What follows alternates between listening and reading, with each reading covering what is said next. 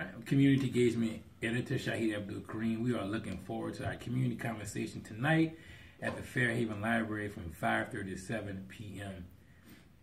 Uh, hi, I'm Esteban Hernandez. I am the City Hall reporter for the New Haven Register, and we're encouraging people to come and share their uh, thoughts and ideas on current articles and share tips and other suggestions for future articles or any other story ideas. Uh, we welcome people's feedback, and we hope to see you there.